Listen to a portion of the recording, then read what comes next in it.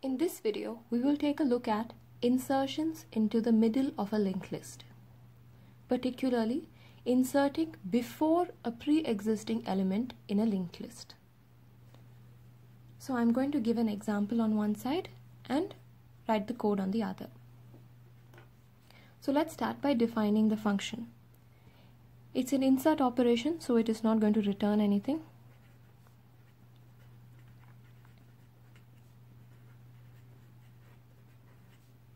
This function is going to be called insert before.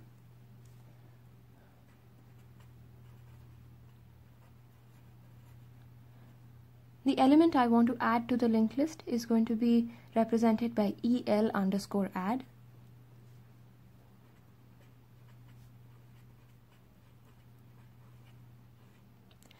And the pre-existing element in the linked list before which we want to perform the addition is going to be stored in el underscore pre.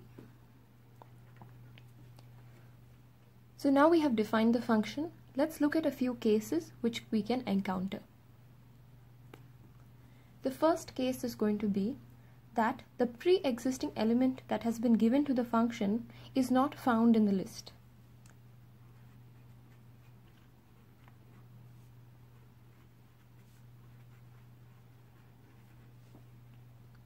So if this pre-existing element is not found in the list, the function does not know before which node we must perform the addition. So we want to stop the, uh, the continuation of the function right there. So first what we must do is we must search for this pre-existing element. We have already taken a look at how to write a search function for a linked list but in short what this search function is going to do is it's going to search for the element given in the parameter and it will return that node which stores that particular element. If such a node is not found, then it will return a null value. So the first thing we do is we call the search function and store the result in a node variable which we call a. Now we could call this anything. For now let me call this c because it will help your understanding in the further steps. So I'm going to store the result of the search function in a node variable which I am calling C. This could be any name but I'm just going to name it C for now. Now that I have the result of the search function, I need to check whether this element was actually found. So I'm going to check if C is equal to null this means that the pre-existing element was not found. In this case, what must I do? I don't want to continue with my function, so I'm going to say return. It's very simple. So if I don't know which element before which I need to insert, I don't want to continue with my function and I return. Now, let's look at the other cases. The next case which we will see is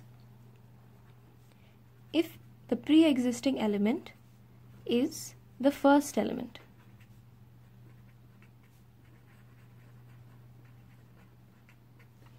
So let's take an example of this.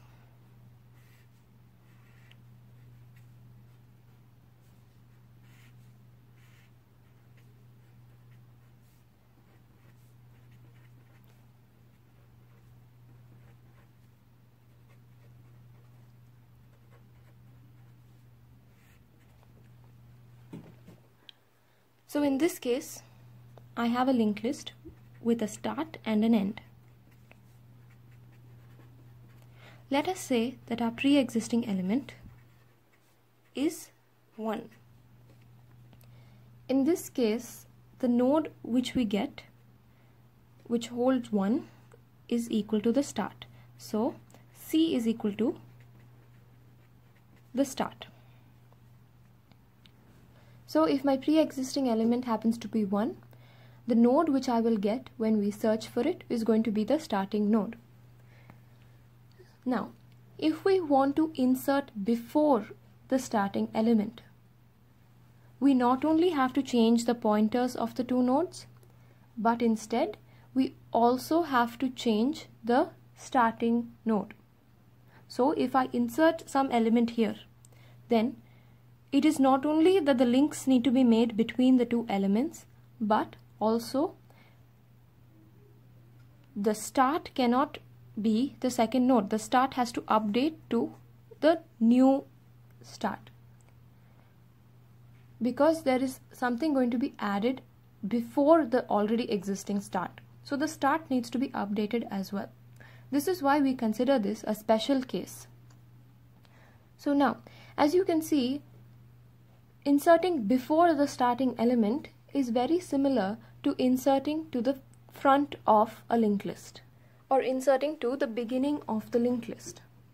So when the node C is going to be our start and we want to insert before the start, it is exactly the same as the function we have written before which is insert BEG or insert to the beginning of a linked list.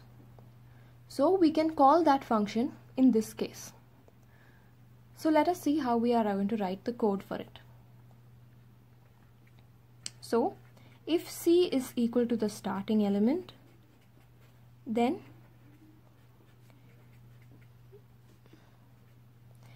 element pre is the first element. So what must we do now?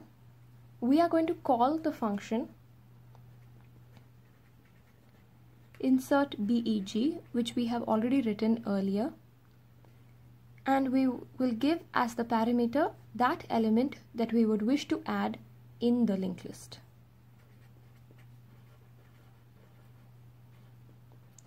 Once we have done this, our work is over. We have inserted the element and now we are going to return.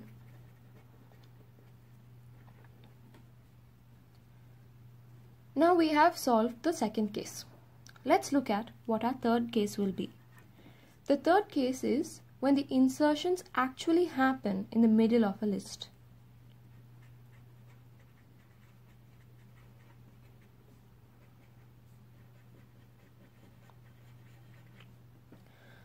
So this is the case we are actually very interested in because this is the only case in which the insertion is actually happening in the middle. So let's see how we are going to do this.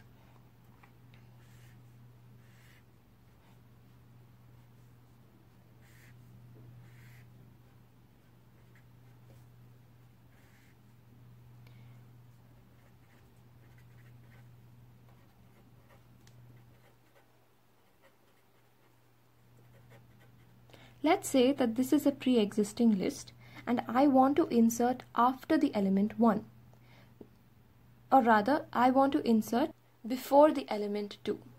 So our element pre is going to be basically I want to add between this 1 and 2. So insert before the element which stores 2. So the first thing I am going to do is I am going to create an element I'm going to create a node for the element I want to add. Let us say that the element we want to add is equal to 3. Now, I'm going to give an arbitrary memory address and the next and previous pointers will currently point to null. So what am I doing? I am creating a node with the data being the element I want to add to the list. So let me write that here.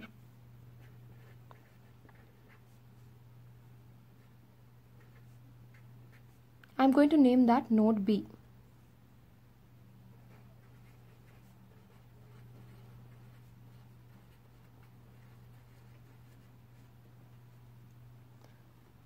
So now we have this node at which we found the pre-existing element as node C. I have the node which I have just made as node B. The next step is let us name this node as node A. So what am I doing? I'm going to rename c dot previous which points here I'm going to rename c dot previous to a